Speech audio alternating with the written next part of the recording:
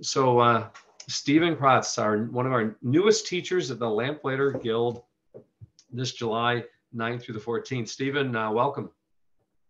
Thanks for having me. Okay, so uh, this one's going to be really, really exciting because uh, just today, Molly and I did a podcast on uh, Proverbs chapter eight, and Stephen, this is going to be so cool. In uh, in Proverbs eight, it talks about that wisdom was with God during creation, um, delighting um, in the sons of men or the sons of Adam, and rejoicing in the habitable parts of the earth. And I looked up those words, delight and rejoicing, and they carry the idea of in creation, God and wisdom together combined were playfully having fun and dancing within their creative um, sphere of creating the heavens and the earth. So can you get? I never saw that before, and when I when I got that idea in my head that that creating something was supposed to be playful and fun, almost like a dance. And do you ever get that way when you've created something that is um, I don't know something you're like, wow, I can't. That's that's really good. Like at the end of every day creation, God's like, this is good and this is very good. Do you, do you ever get that way? Yeah. Uh, I recently um, I compiled from my sketchbooks over the years uh, poster sized image with just a hundred little faces um, that I had drawn, you know, from various places that I'd gone and and I framed it up. Uh, you know, I was doing an art exhibition and uh, but I took it in at the end of the night from the studio and just looked at it for the longest time.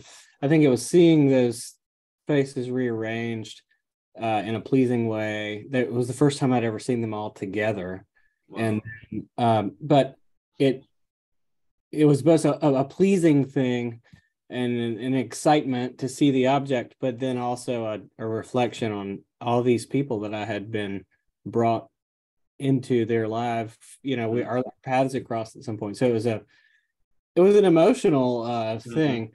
but there was that sort of uh fun to it and certainly drawing um has really fun moments so for those that are going to be watching this you look really really young i would put you at i don't know 18 That's but, been a while yeah uh, 36 so 36 and married and have how many children? Two girls. Yeah. Oh, praise the Lord. Okay, so I, eventually in this interview, I want you to take us for a tour in your studio. But before we do that, um, we have some mutual friends that uh, you've had the opportunity to be mentored and inspired by. And uh, let's start with um, um, Makoto Fujimura. Mm-hmm. You've uh, you you had some access to him and and I know that you love his work and I I love his work. Tell me a little bit about uh, Makoto and his influence in your life. Sure. Uh, when I was in college, I had the opportunity to go to New York City during my summers. Uh, I studied in South Carolina, but I went up and worked uh, with a, a group that was uh, connected with his organization at the time, the International Arts Movement. But uh, and and I got to bring fellow students from my school up there to interact with what they were doing.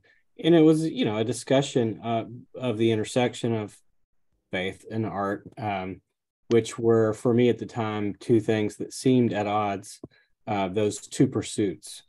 Uh, how how would i carry a level of rigor into both without one upending the other? And so mako and others uh, in his community there were uh, really timely uh, examples hmm. for uh, myself and other young people uh, who said there's no there's no conflict. And in fact um, you know pursuit of beauty is um, is inside of the pursuit of of God. So um, that that was very helpful uh, at at that time in my life, and his uh, continued writing and teaching has been an encouragement along the way.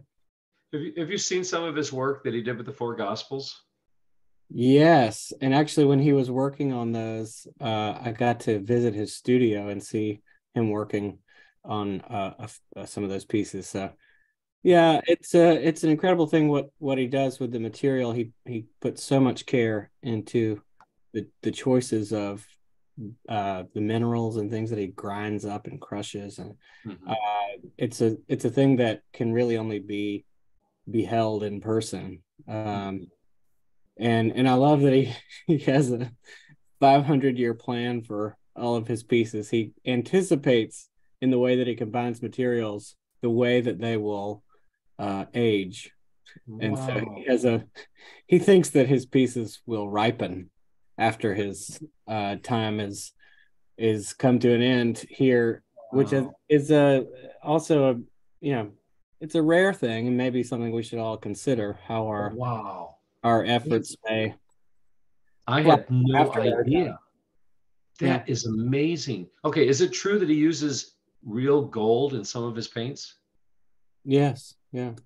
Mm-hmm. Wow. Other uh, precious minerals. So. So pray, praise God for that. I mean that. So I don't like modern art at all, mm-hmm. but when I saw his art, I was so overwhelmed it almost brought tears to my eyes. I was like, "Wow, this is unusual. The color, the, you know, I don't know what it was. It, it wasn't modern. I don't think I'd call his work modern art. I think I call, I would call his work um, divine design. That's the only way I can describe it. Yeah, I mean, he's conversing with his Nihonga tradition from Japan, but also um, you know, also modern art things, but I, I think he's uh, doing it with a lot of care. And mm. also, he's a good interpreter of it, which can be helpful. Mm. So, yeah. That's really neat. A 500 year plan that I've never, so that, that inspires me just to hear what you just said. I'm, so you have just inspired me tonight. So, like, we print, we publish books, rare books. And um, you know, right now we're getting ready to transfer from a gluing a glued book to a Smythe sewn needle and thread Ooh. book. exciting. Know? Yeah, it really is exciting. It's a game changer for me because I, I the old books in the 16, 17, 1800s, they were always threaded, you know, and those threads are still held up today 200 yeah. years later. So you'll be making something that will truly be an heirloom. Yes. Yeah. Yes. Mm-hmm. Good. Okay. Another mutual friend you spent some time uh, down with Andrew Peterson, I heard. Hmm. Yeah. Uh, so when I was in high school, a friend gave me an Andrew tape or CD, whatever it was back then, and uh, I I was listening to it, and I, I remember I was working on science homework, and uh, just it was kind of background noise, and then he said some line that just pierced me and i and i think looking back i realized i wasn't alone. Um here was someone who was artfully uh but honestly communicating a wrestling kind of uh, holding out his doubt uh openly hmm. but also there was a level of commitment uh that was evident too to the pursuit so, uh, yeah, I think having his work throughout my college years, um, especially, it was a kind of an anchor that I went back to hmm. uh, to remind me of, you know, my first love, um, that sort of thing. And so then many years later, I had the chance to um, to do some work with him and be kind of enveloped into the the community that they've uh, got based in Nashville, but has fingers out mm-hmm. around the world, really. Um, uh, and it's a community, the Rabbit Room, that uh, encourages artists and and people that are interested in creative things. So that's been a great gift um, to have his, uh, you know, him in my life. Hmm. Okay, so let's let's take a look at the studio, and then I'll ask you some questions about other things that have inspired you. But you have a unique studio. Tell us what you do, what you enjoy doing the most, and what brings the most joy in your life. what brings the most joy in my life. Um, Besides being a dad and, and a husband. yeah. Uh, so let's take those in turn. We'll start with the studio. Okay. I guess. Uh, let's see. So this is my little shop. Um, you can see some of it there, and I've got a couple of uh, little presses back here that I do uh, printmaking things on, and then I have all my little miniature people up there on the walls and various books uh, scattered around. So that's so, uh, that's okay. my shed. Tell us your tell us your website because I was blown away when I looked at your website. Where where do people go to take a look at this? Yeah, it's just my name, stephencrotts.com. Stephen Crotts, C R O T T S dot com. Mm-hmm. So Stephen, when when you see all of those, all the artwork on your website, what what kind of artwork is that? mm, uh, I mean, I think that uh, the my influences are fairly clear to those who are you know familiar with late 19th century and early 20th century books. Uh, that's the kind of stuff that i'm looking at a lot.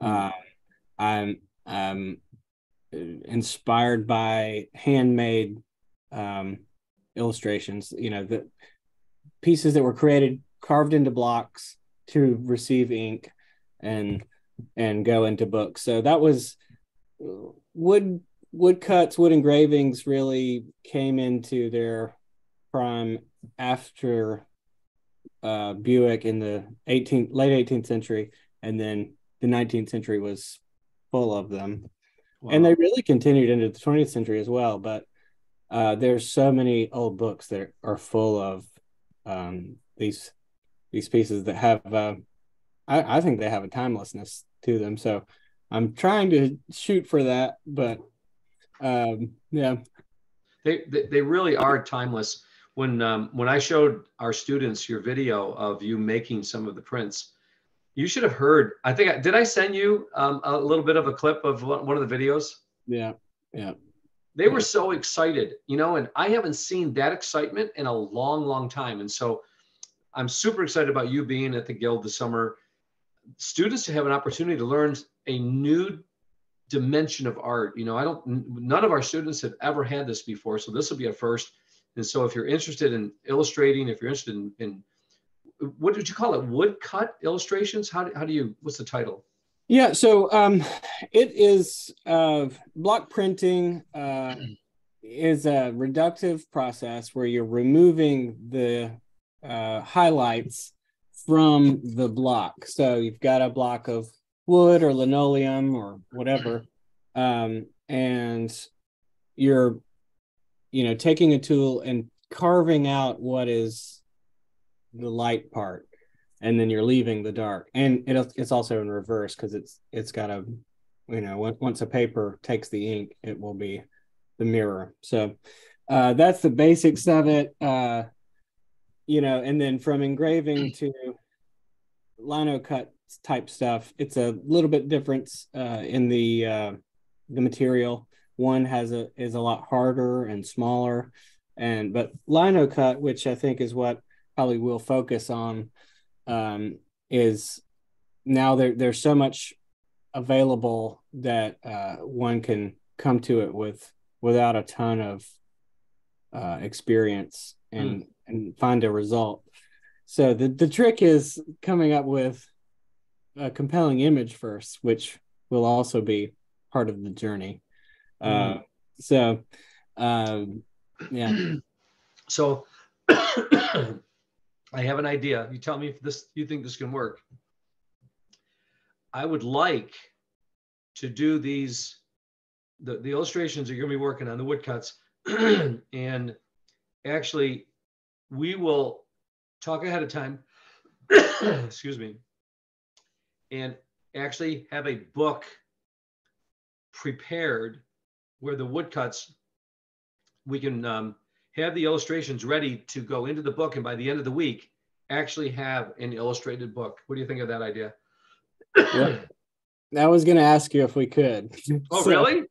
Oh, I definitely was. That was part of my, I was like, that might be too much to ask for. Oh. So I'm gonna have to butter him up first, but there it is.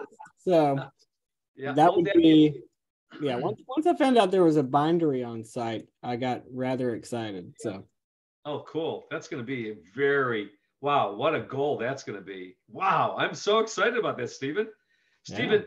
all people have to do is go to your website and they're gonna come. Um, go to stephencrotts.com, take a look at his work.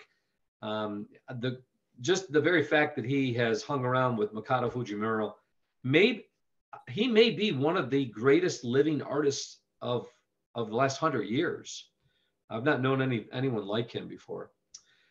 Okay, in your studio, you have a banjo. It looks like in the back. Is that true? Yes. Yeah, I play a little clawhammer style um, banjo, which is uh, back porch kind of music. That yeah. Uh, so yeah. You bringing it? Of course. Yeah. Oh, it, cool. It goes with.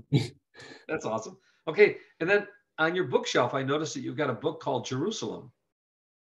Yeah, this is my Holy Land shelf behind me. So I keep a little uh, shelf just close to me uh, that's uh, about that subject since I'm kind of I'm I went last year for a, a time and I've been uh, diving into that whole subject to try to come up with some some projects. So nothing to announce yet, but hopefully, hopefully soon.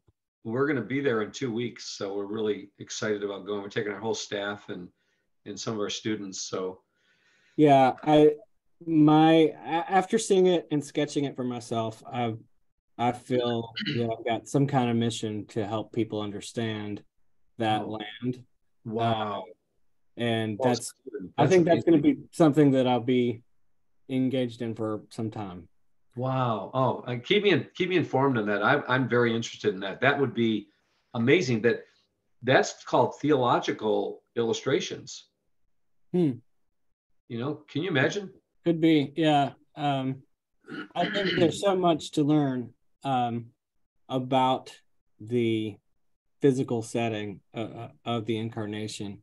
It hmm. just seeing it um, you know brought it to um, so it just it went from like black and white to color you know yeah. and wizard yeah. of oz it's like that kind of moment so you're going to have to plan on coming with us next year we're going to be going um, every year that's uh, my arm the last week in april 20th to the 27th and then into the first week of may we're going to try to go every year we have um, a new administrator that's going to be guiding and preparing everything. We're super excited. Um, Michael Card was just here. He's been going on these tours, I think, for close to 20 years, mm-hmm. and um, he's getting ready to to re- not I don't know if I call it retire, but he's going into a new season in life. And um, we've asked uh, the person that's helped him all these years to help us, and I believe he's going to be doing that. So we're super excited about that. Good. And uh, there's just so much. Like you said, it turns black and white into full color when you're there. I, yeah. I can't and wait Mike, Mike is one of those people that I look look to um, as uh, kind of. I, I want to be doing similar things to what he has done in uh, helping people's imaginations uh, to be informed by the reality of what has happened in that okay. so. that's that's why you and i click i think. That's i think michael card he's done it better than anyone i've ever known. Mm-hmm. and, and makoto fujimura andrew peterson um, we tend to tend to all walk in the same circles here. And um, michael has has uh, the imagination series. Have you, you ever read that? Mm-hmm. yeah i've got it back here so. Oh do you? Yeah. yeah. His his understanding of scripture is so cool um, uh, he he taught our students last week that Jesus was probably no no taller than five foot six. I'm like, yes, I love that. yeah, that um, yeah, the, I think that was one of the biggest uh, things that was driven home to me was this this uh, man was a man, mm-hmm. uh, and that that's the wonder of Uh, that's part of the wonder of what happened. Uh, is that he was put, he, he tabernacled among us and mm-hmm. did a very ordinary existence, and mm-hmm. but did uh, achieve the most extraordinary existence yeah. uh, in in a plain old context. And, and that means a lot to me. And that's what God wants from us. Um, we can live that same way. We can have an extraordinary life. He, he said, "You'll he'll do exceedingly abundantly above all that we can ask or imagine." So, yeah. uh, you know, if you read Proverbs chapter chapter eight, it says that wisdom will give you more, will provide more for a person more than rubies, more than silver or gold, more than treasure. It says this it says, is that you cannot imagine there's you you cannot desire it, it's beyond anything you can desire wisdom will provide much much more and so i, I really believe that um, god has so much planned for us and in store for us and it's there for the taking but it's also requires discipline and hard work and sacrifice. And if we're willing to do that, God will provide the increase and and the joy that comes with it. Yes. Okay, so uh, tell me a little bit of what students can expect. Just, just take me on a little bit of a tour of what you envision your time at the Lamplighter Guild this summer taking. What what will what will the students can, can they expect? Well, you mentioned discipline, and uh, it's funny. I've been going through uh, after after we initially talked. I started going through uh, these, you know, all the classic movie scenes of a platoon arriving and getting a speech, and I thought this would be fun to come up with a tough guy speech. But, uh, but part of what I would love to spend time uh, doing is helping uh, the group come to uh, a new discipline of um, observational drawing mm. and note taking, um, because I think that is something that could serve them whether they're involved in a visual art uh, career or not. Um, the of observation is so important uh, to a rich life, and mm. um, so I think it would serve any vocation, um, journaling, writing, that sort of thing. So I, I want that to be part of it. Um, uh, spending time looking at things and drawing and paying attention, learning, learning to pay attention to the world that we find ourselves in because it's full of wonders. Uh, can, so. can anybody come that, that has basic art skills, beginner skills, advanced skills? Can you have both?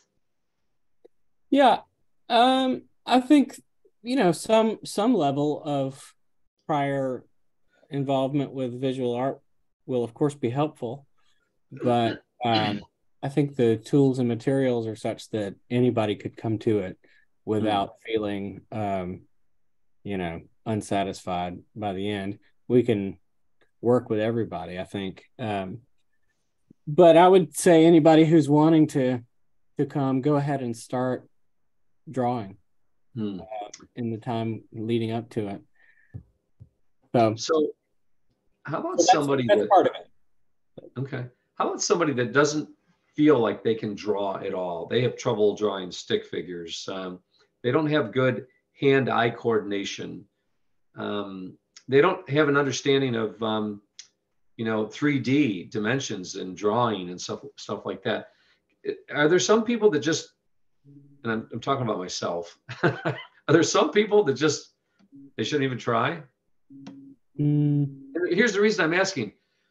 I would love to be able to do some kind of illustration. I, I enjoy watching someone painting. I, I, would love to do it myself. Um, well, some... I I look at certain artists who have what seems like such a natural facility. I'm, and I'm I'm convinced that some people are just hmm. better. Um, yeah.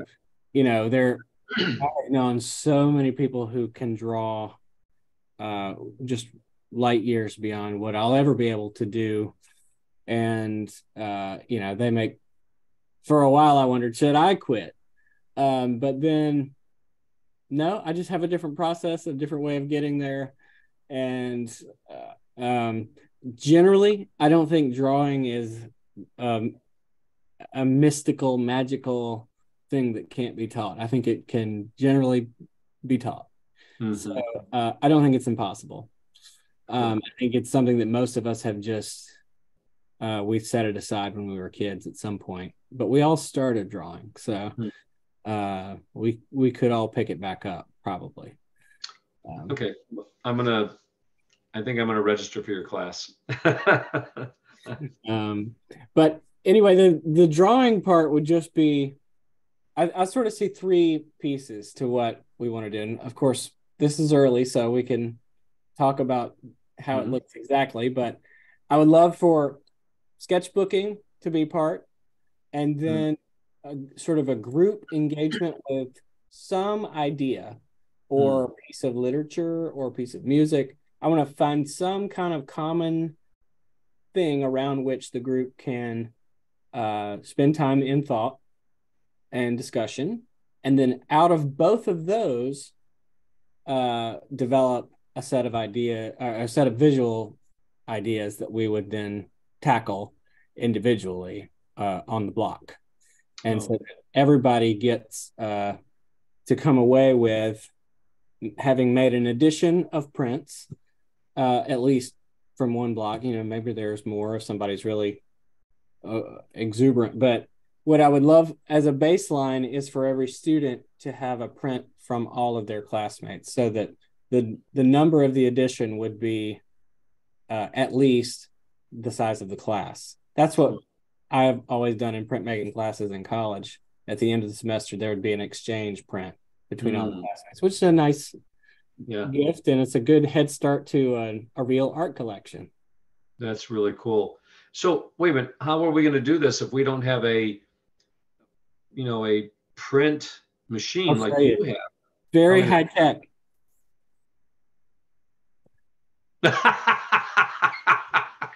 this is how it's done.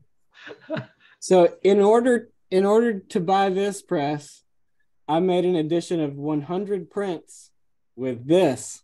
No way. Uh, and sold those so that I could uh, work up to a, an easier tool. This is not needed. No. Uh, for um, for people to have success. Yeah, it's a it. The process is basically you you roll ink onto the block, put paper on, and then apply pressure, and it's amazing how quickly it comes together. That's so cool. that yeah. is so cool. Unless you just want to, you know, buy an etching press before the summer, that would be fun too. But uh, that's up to you. Can you um, email me just some uh, your recommendation if I were to buy something like that? Yeah, I can certainly do that yeah. kind of yeah. Yeah, do that. And I may send a list of suggested reading uh, once we get closer to to folks who want to be in a you know prepare a little bit better. Um, we can do that too. So okay, if you can send me that over the next couple days, I will. Um, we'll send that to all of the. Uh, we'll put it on on our website, lamplighter.net, uh, and make that accessible to everyone. Yeah. Cool, Stephen. I'm really looking forward to it. Where do you see the grounds? The the tulips are coming up right now. We planted a hundred uh, tulip bulbs last year, last fall. They're all coming up right now, and uh, the flowers, the zinnias that we're going to have planted, you're going to feel like you're walking in the Garden of Eden. It's so beautiful in the summertime. It looks beautiful from photos. Yeah. yeah I hope we get a chance to do some plein air sketching uh, in the area during the week. So, would you like to do plein air woods, lake, or waterfalls? Oh, exciting! Uh, yeah, a pond with a pavilion, a church, stained glass windows. It all sounds exciting. Yeah, you'll have your choice. Yeah. Cool. So, well, yeah. let's give your website one more time stephencrotts.com. Cool. Any questions and, for me? Um, I think I'm good so far. Anything you need, we'll provide. I I think I am. This is to me. This is like the ultimate. This is uh, I I. As soon as I saw your website, I'm like, whoa, we've got to get this guy. Mm-hmm. And uh, I remember Rainey talked to you first. Then we, you and I talked on Saturday. After our discussion, I was so excited. I went to your website, showed all of our students, and Stephen, I wish you could have been here. It was like a party. They were like, ooh, oh, look at this. We spent close to probably 20 minutes staying on your website. And then they said, why don't we have them come and teach, you know, at, at our collegiate program? And uh, we'll talk more about that, but you're going to be here, I think, on the 19th, if I'm not mistaken. Yeah. And uh, that's going to be really cool. Yeah. Well, I, I'm always uh, excited by a group of people who are passionate about learning and, um, or, you know, excited about looking up from a screen yeah and seeing anything real and valuing it um i'm i'm glad to think about being around those kinds of people you're gonna, uh, you're, so. you're gonna be really really um excited to see when when you get here um, they well they had Michael Card for a week, and Michael Michael left. He said he goes he's never experienced anything like that. He just was very he felt very valued and and very blessed by the week. And then oh Steve Stephen, Mike did a Friday night concert. I had never seen so many people in tears. It mm-hmm. was it was like a reunion for people that have been listening to Mike for the last 25 years. Hmm.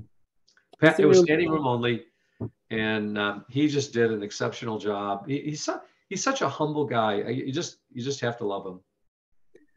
Yes, he seems to be. Uh, in, he increasingly uh, cares less about what any yeah. what other people think of him. He's just he uh, is uh, but but in the direction not of some sort of cantankerous thing, but he is somebody who embodies contentment. Yeah. Not a kind of vain striving. So that's uh, really cool. Okay, well, everybody, Stephen Crotts, um, in the flesh, got to see a studio and uh, Stephen, thank you so much. I'm looking forward to it, and I'm going to see you in um, a couple weeks. So we're excited about having you come for that, as well as the 2023 Lamplighter Summer Guild. Go to lamplighter.net for more information or call us 1 888, the letter A, gospel. It's 1 888, the letter A, gospel, which is 246 7735. That's 246 7735. Or to learn more about Stephen and his um, work, Stephen Crotts, C R O T T S dot com. Stephen, looking forward to seeing a couple weeks. God bless. Thank you, Dr. Hamby. Yeah, you yeah. too.